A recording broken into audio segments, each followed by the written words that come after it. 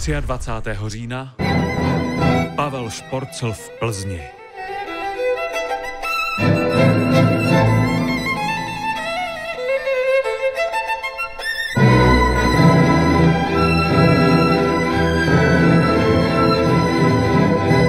Během večera uslyšíte oba koncerty z nového alba Podsta Janu Kubelíkovi.